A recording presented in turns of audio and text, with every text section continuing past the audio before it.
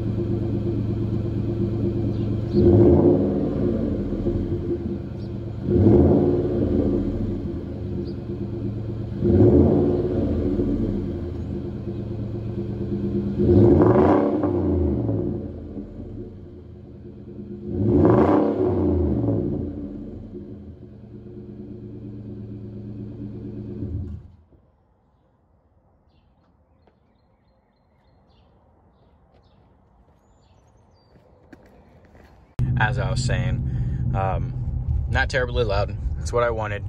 A lot of people don't like drone in their cabs. I'm one of those people. Some people like a hell of a lot more than I do. Let's put it that way.